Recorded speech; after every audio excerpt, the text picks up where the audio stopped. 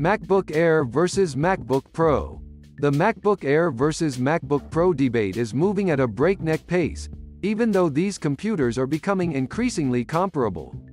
Apple's laptops are more efficient than ever due to rapid improvements such as the keyboard, which turn into the problematic Switch Butterfly keyboards for more excellent dependability.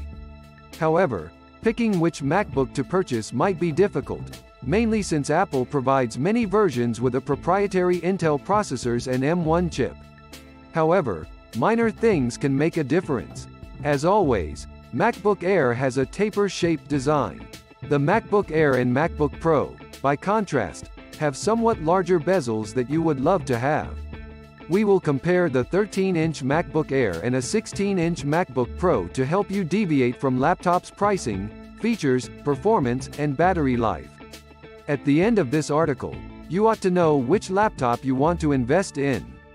Features and performance. The MacBook Air and MacBook Pro are used in similar ways daily. Sound quality. The MacBook Air and MacBook 13-inch sound fantastic. The bigger the MacBook Pro sound is so much more vital. Which is the best MacBook? If you require higher sustainable performance, you might prefer to get MacBook Pro models like A1990, A1706, A1989 are with 3 Thunderbolt. The MacBook Pro is a fast SSD, just like the MacBook Air, operated by Apple's magnificent new Big operating system. Old Intel CPUs that don't operate the same way or have the same durability as the M1 CPU. Design. The MacBook Air and MacBook Pro look extremely exact at first glance.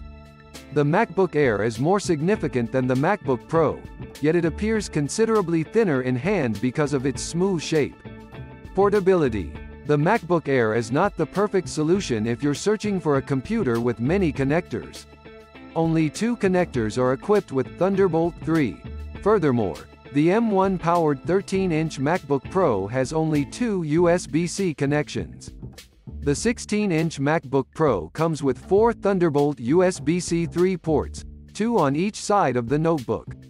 Two references are available. The MacBook Air and the MacBook Pro 13-inch entry-level have their ports on the left, making it uncomfortable to operate and requiring substantial wire management. Display. While both the MacBook Pro and MacBook Air Retina displays are apparent and vibrant, one reason to upgrade to the Pro is brightness. With the Apple M1, all that has changed is that the wide color spectrum is supported. Battery life. Battery life is the new facility Apple has made significant gains in moving to its M1 CPUs. You cannot go wrong with either model when it comes to battery life. The M1 Air has a marked 15 hour, and the Pro is estimated for a massive rise of 17 hours over the previous 10 hours, both incredibly efficient, improving over 40% over the previous Intel. Graphics. The new M1 processor is featured in each Apple laptop and, according to Apple, is the fastest CPU core in the world when it comes to low-power technology. Which is the best MacBook?